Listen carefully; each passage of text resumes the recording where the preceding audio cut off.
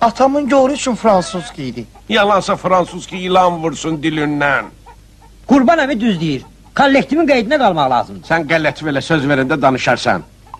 Bu əqidəmdə əsirəm.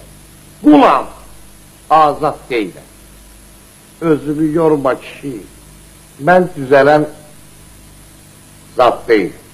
Hər kəs salamlayır dostlar. Bu gün sizə yeni bir videoya qarşınızdayım. Bu gün sizdən Yaşar Nuri haqqında danışacağam. İndi isə gəlin başlayaq. Yaşar Nuri 1951-ci il sentyabr ayının 3-də Bakıda tanınmış aktyor olan Məmməd Sadıq Nuriyevin ailəsində dünyaya göz açmışdır.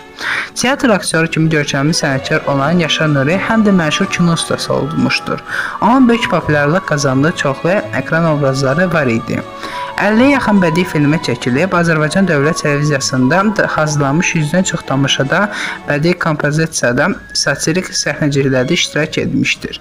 Onun əsasən baş rolları ifa etdiyi teletamaşalar televiziyanın fondunda daimi sənət nümunələri kimi qorunub saxlanılmadadır. Aktyor nəinki televiziyaya, həmçinin radio və kinostudiyyanın dublaj sektoru ilə də əməkdaşlıq etmiş, radioda sabahlı seyir, gülüş axşamı, humoristik verilişlərinin radio tamaşalarının iştirakçısı olmuşdur.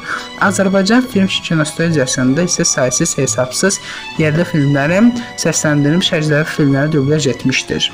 Yaşar Nuri cəsarətli aktyor kimi qəliz rəqs nömrələrini muğam və ya estrada yaxud aşıq musiqisi üzərində qurulan satirik, dramatik, psixoloji, komik karnaval este estetikasına uyğun obrazın ifasında uğur qazana bilmişdir. Səhnədə həmişə canlı olub, təravətli, dallı tamlı ürəkləri yol tapan bir insan kimi tarixə qeyd olunmuşdur.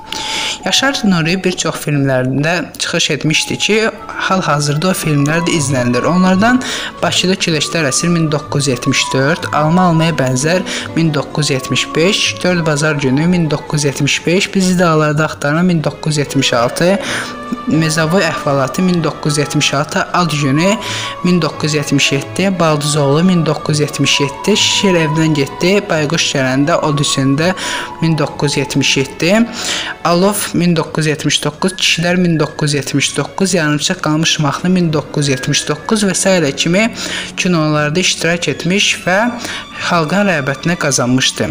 Yaşar Nuri uzun sürə e, olan xəstəlikdən 22 noyabr 2012-ci ildə 61 yaşında dünyasını dəyişmişdi. E, dostlar, əgər bu videonu bəyəndisə, like atmağı və abunə olmağı unutmayın dediyim kimi və sağ olun. Gələn videolarımda görüşənədək.